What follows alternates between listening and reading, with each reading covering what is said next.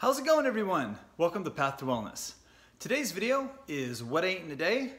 And again, this is plant-based. So if you're not yet subscribed to the channel, please click the subscribe button and check the bell so you're notified of my new videos. All right, thanks a lot.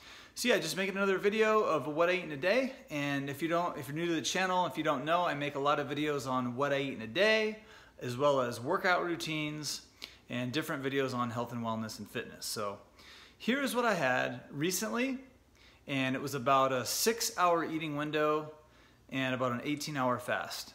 All right. All right, so I started out uh, with this glass of celery juice, which uh, a lot of times now I'm starting out with some juice.